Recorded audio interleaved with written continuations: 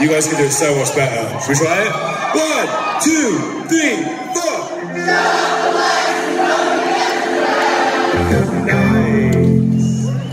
Nice.